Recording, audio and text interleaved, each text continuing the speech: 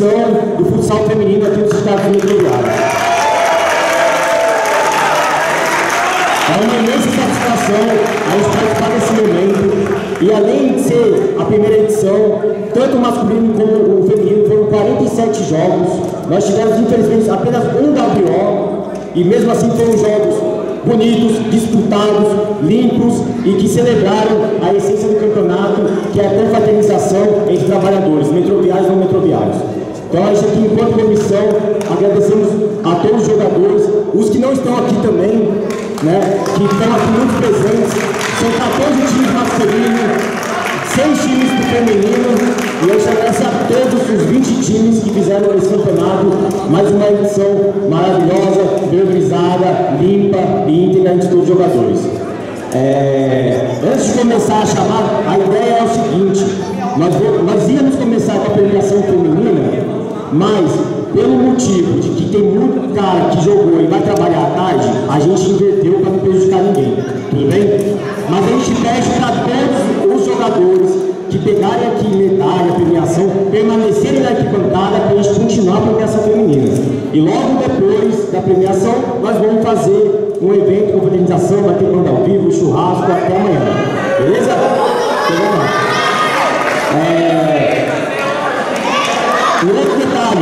como ele já começou com a maioria dos times. Esse,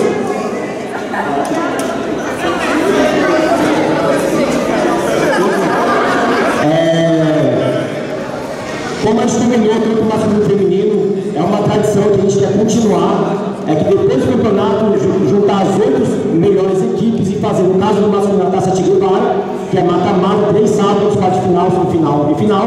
E no caso feminino, nós tivemos seis times. Porém, nós pensamos em convidar mais dois times para fazer a Taça de Franco, que é a mesma ideia de celebrar entre as campeãs e fazer tudo junto como foi aqui. Né? Três sábados, no final de setembro, a gente está pensando como que vai ser. Nós vamos entrar em contato com todo mundo e a ideia é ocupar essa quadra de eventos esportivos, não só agora a Taça Ativivar ou a Taça Maré em Franco, mas esse espaço que é de todo mundo. Quem não é metroviário também é o espaço de vocês para estar tá aqui jogando, participando de todo tipo de evento.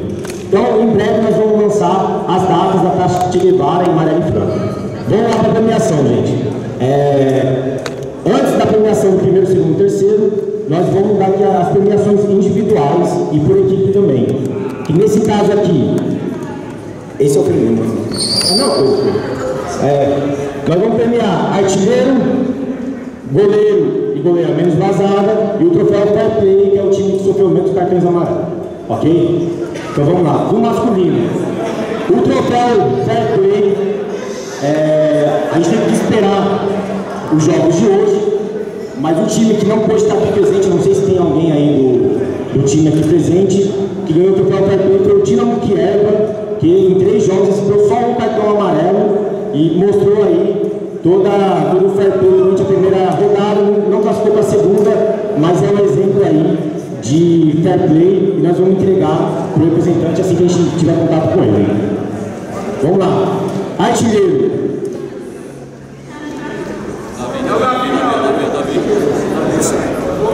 Davi, você fez, fez gol? Tá. Então, pela equipe do Bom Copo, Davi Angelino com 14 gols.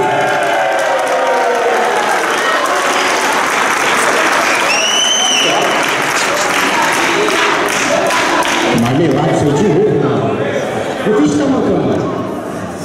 Parabéns, Davi, 14 gols em 7 jogos.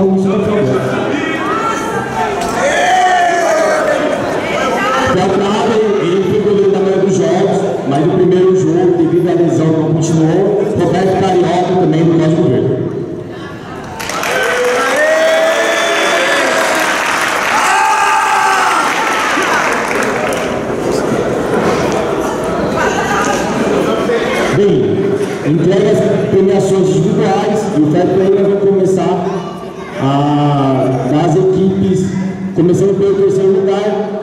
Foi infelizmente o único jogo que deu na pior, porque o adversário é, não, não quis comparecer.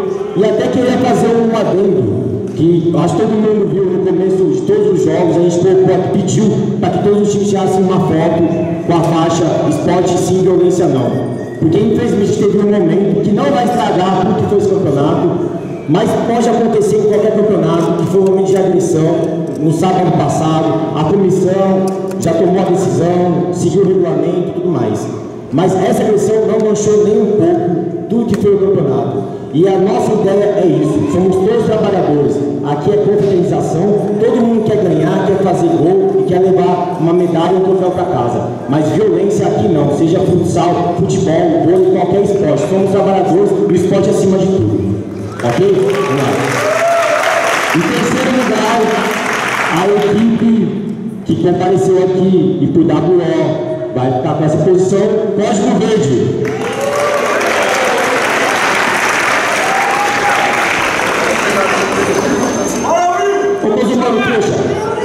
我给你报，我说亲，你问，你们大。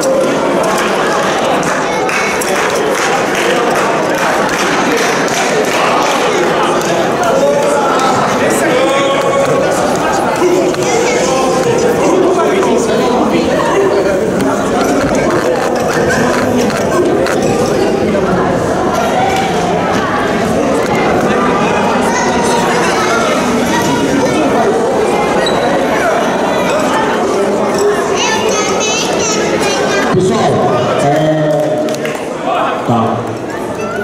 A gente vai seguir aqui a, a sequência de legalidades, mas queria fazer uma premiação especial, porque não sei se todo mundo sabe aqui, a criação do time Bom de Copo passou pelo Léo e pelo... Brito, Raimundo Brito, que é, era segurança do metrô, infelizmente ano passado ele veio a falecer e para essa homenagem ao Brito e na memória dele, eu quer chamar aqui o filho dele para receber a primeira medalha.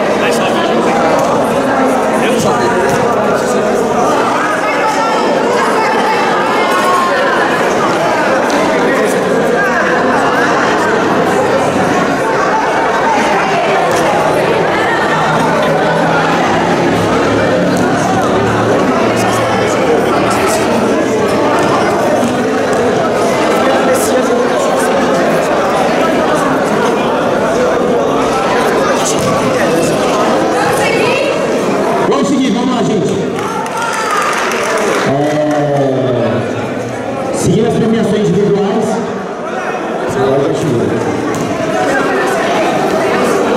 A artilheira do campeonato feminino por 10 gols foi a Renata Mirage do Temper.